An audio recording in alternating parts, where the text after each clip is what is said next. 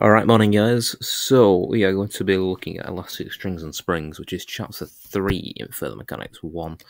Um, so, let's get straight on with it. So, Hooke's law is when an elastic string or spring is stretched, the tension T produces proportional to the extension, which is known as X. And that gives us the equation that T is lambda over Lx. More commonly, you might see this written as T equals lambda x divided by L that's the more common way of writing it. Um, but it's a lot easier to remember writing that down, isn't it? Uh, so lambda is known as the modulus elasticity, and the notes here in an LMS, the modulus elasticity refers to the constant lambda in the equation, t equals lambda L lambda over Lx. Uh, lambda can be understood as the force needed to double the length of a string or spring. So the new the uh, for tension is going to be newtons, so it's going to, the tension is going to be lambda over L times by L, which is going to give me lambda newtons. And lambda should not be confused with Young's modulus, um, which uh, you might come across in physics, maybe.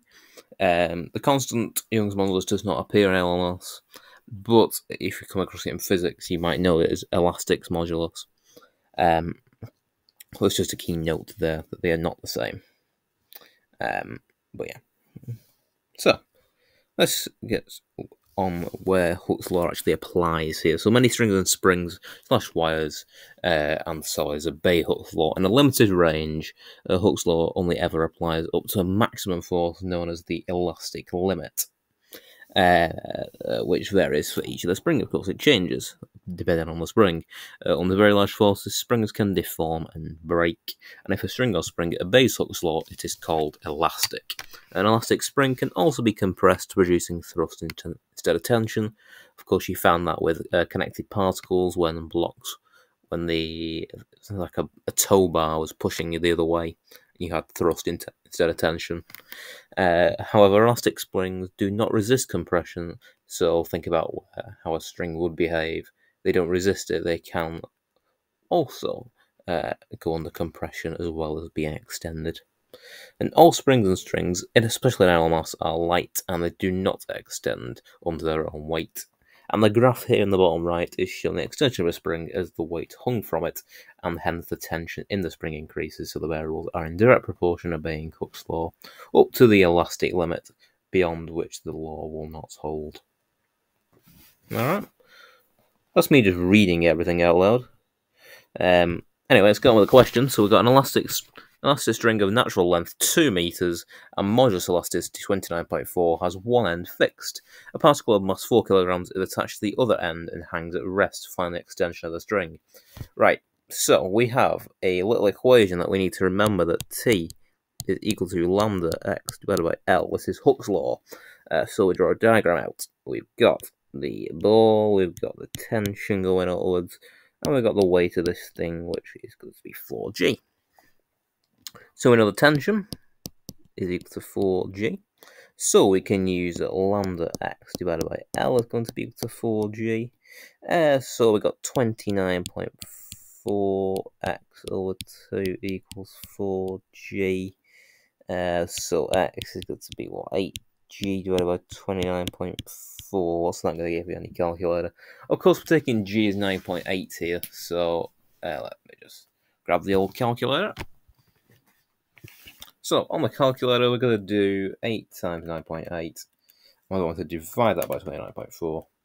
Uh, that gives you, ooh, nice value. Hope you got a nice value 2 there. Uh, that you should have got 8 thirds. Um, meters. I got a nice value. Hopefully you did as well. Make sure you double check my working because you never know. However, in mechanics, we don't like fractions, so it's probably worth rounding it to 2.67 meters. That's the extension. However, if you wanted to find what the total length would have been, how would you work that out? Well, the total length is just the uh, natural length, which is 2, plus the extension. So the total length of the thing would be 4.67 meters. But the key thing here is t equals lambda x over L which is actually just Hooke's law. All right. Next bit. So on to the question here, we've got an elastic spring of natural length 1.5 meters has one end attached to a fixed point A. Uh, to a fixed point. Uh, so we've got a horizontal force of magnitude 6 newtons is applied to the other end and compresses the string to a length of 1 meter. Find the modulus elasticity of the spring. Okay. So, uh, this actually is pretty pretty much a short question. Uh, it compresses and it's a horizontal force, all right, of six newtons. So we know that L is going to be 1.5. That's the natural length.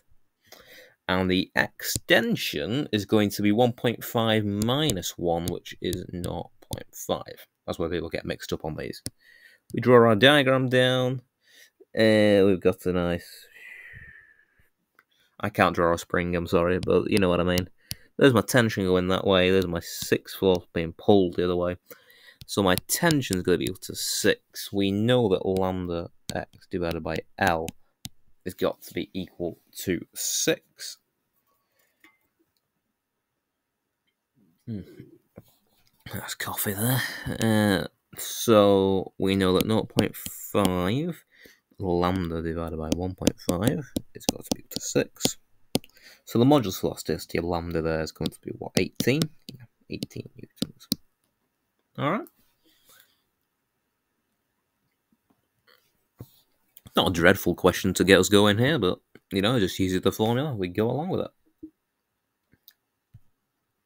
Right, so, we're going to look at each of these, and I'm not going to essentially write out the full answers here. This is just like a bit of theory, if you will. So we've got a string of natural length L and modulus of elasticity is 123. It's stretched to a length of 2L. What's the tension in the string going to be? Well, it's actually going to be the same as the modulus of elasticity. It's going to be 123. Uh, because lambda is the force needed to double the length of the string from what we had before. Uh, natural string a string of natural length uh, L and modulus elasticity 123 is stretched to a length of 3L.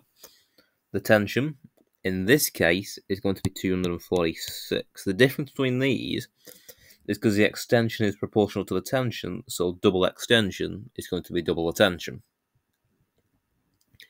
Um, so, we've got next one here, a string of natural length L and modulus elasticity 123 newtons extended by a distance of 2L. Uh, what is the tension in the string? Uh, well, essentially, this question and this question are exactly the same. The only trick with these is that we've reworded it. It says, well, 3L minus L is an extension of 2L. So that's all I've done, reworded it. Then we've got a string of natural length 3 meters that extends to, is stretched to a length of 6 meters by applying a force to one end of 99 newtons. What is the modulus elasticity of the spring? Uh, so, well, we've doubled the length uh, so in doubling the length, it's going to be 99 newtons again because we've doubled the length. That's the whole reason. We've got a string of natural length L and lambda is 40 newtons is compressed to a length of 3 quarters L. What is the compressive force? Okay, well, the compressive force is going to be uh, just 40 divided by 4, i.e. 10 newtons because it's being compressed by one quarter L, so the compressive force is a quarter of lambda, which is just a quarter of 40, which is 10. Got a string of natural length L and lambda is 40 newtons, is compressed by a force of 30. What's the extension going to be? Well, we don't know what the extension is going to be because the string's going to collapse under compression, so you can't really tell here. This is some of the trick one. Uh, so the, the real thing here is you cannot tell because strings uh, collapse.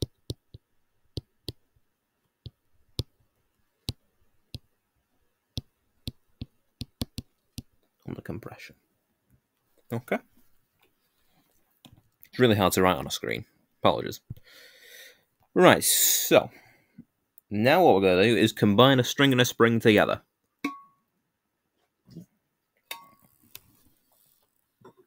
So we're going to make these a bit more complicated now, aren't we? So, we've got uh, the elastic springs, P and, PQ and QR are joined together at Q to form one long spring. Uh, the spring PQ has a natural length of 1.6 meters and modulus elasticity 20 newtons. The string uh, spring QR has natural length 1.4 meters and modulus elasticity 28 newtons. Uh, the ends P and R uh, of the long string are attached to two fixed points which are 4 meters apart on the same horizontal plane. Assume Q is at rest and in equilibrium, find the tension in the combined spring. So, the way I like to work these out is A with a quick diagram to get us going. So we've got the that's one, and then I'm going to change the color. Hopefully you can see that yellow. So let's change to black. We've got T1, T2. Two different tensions. The tensions are going to be equal to each other. We know the length of the full thing is 4. Um, we know this bit here, the natural length is going to be 1.4. Uh, what we want here is to find what the extension is. This is 1 minus x, that's going to be x. That bit there is going to be 1.6. So PQ, what do we know about PQ? Well, we know that L is going to be 1.6. We know that lambda is going to be equal to 20, and we know that the extension or the x, if you will, is going to be x. QR, we know that L is going to be 1.4. Uh, we know that lambda is 28. And we know that x essentially is going to be 1 minus x. And because we know the tensions are equal to each other, what we can do is just set up a set of simultaneous equations. So 20x divided by uh, 1.6 is got to be equal to um, 28, lots of 1 minus x divided by 1.4. Alright, so 28x then, it's going to be uh, 44.8, lots of 1 minus x. Um, so let's probably just expand that bracket out, 44.8 minus 44.8. At this point you could just stick it in your calculator. I'm just going to work through it here, so we'll get get x is uh, 8 over 13, which is on my calculator 0.62 meters, which is two significant figures.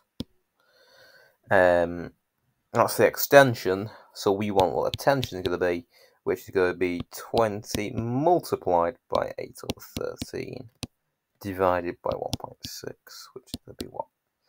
Uh, go to 7.69 newtons to 3 significant figures. Okay. Not a nice question, but there we go. They're never going to be always nice on an Excel. So we've got two identical elastic springs, PQ and QR. Each have natural length L and modulus elasticity 2mg. Uh, the springs are joined together at Q. Their, their other ends, P and R, uh, are attached to fixed points, with P being 4L vertically above R. Uh, that's also a key bit to remember there. A particle of mass m is attached at Q and hangs at rest in equilibrium. Find the distance of the particle below P. Okay. So, uh, quick diagram just to get us going here. Uh, so we got a spring. It's not a terrible spring to draw, actually. We got the particle. And we've got this thing going down here to R. So that's going to be R, that's going to be P. Uh, we know what lambda is going to be. Lambda is 2mg. Uh, we want this thing here, don't we? Which is going to be 4L. Um, and then we just need to put on the old stuff that we know. So we've got L, we've got the extension, could be X. We've got that thing there, which is going to be 12 minus X. And we've got this thing here that's going to be L. Uh, so we've got the tension in one of them is going to be the tension in the other plus the weight of the thing, which is be mg. That's just resolving. So the tension in one is going to be 2mg x overall is 2mg, or well, I got to cancel quite neatly, 2l minus x over overall, plus the weight, mg. So we can cancel the m's and the g's, which is quite nice. So we've got 2x, it's got to be 2 lots of 2l minus x. uh, plus uh, L. Become times through by L at the same time because essentially this is going to be becoming 1 when I cancel each other out. Um, so we've got that, which is going to be 4x. It's going to be, what's that going to be? 5L. So x is going to be 5L divided by 4. The distance below P is going to be 5 quarters L plus L, which is going to be 9L over 4. And that's the answer to this problem. Okay, so now we've got a little exam question for you to have a go at. Um, so I'll let you go through it, and then I'll have a, a quick go at it. So I suggest pausing it, have a go, and then we'll have a look. So, uh, okay, so this is going to work in the same principles. Uh, we've got the weight of the thing here is 5g. We've got the tensions within the two strings is T1 and T2, I should hope. Um, so we can use that T1 is lambda x over L, so T1 is just going to be 175 if you read the question, uh, times by uh, what we've been given here. Pascal's on equilibrium, yeah. Uh, right, so it's going to be, what's that going to be? 120 minus 100 It's going to be 0.2 meters because we've got it in centimeters, being careful, divided by uh, 1. Oh, well, that's quite nice.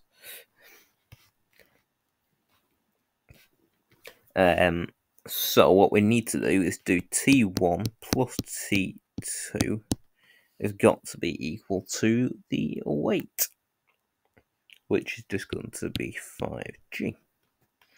So we've got 175 times 0.2 divided by 1 plus what we want times by 0.3 divided by 0.9 because that's what we're told here. Uh, is equal to 49. That's going to give you into ugh, solving that. Um, lambda is going to be now, on your calculator, you've got a solve function, which I'm just going to plug in as 1. Uh, so you have 175 uh, times 0.2 uh, plus. Now, on your calculator, you use the x button times 0.3 um, divided by 0.9 is equal to 49. And if you press Shift Solve on the Casio Classwiz and you stick 0 in, so it's using a, a, numerical method, and when it solves it, it just tells you the answer in about a second. There's 42. So the correct answer is 42.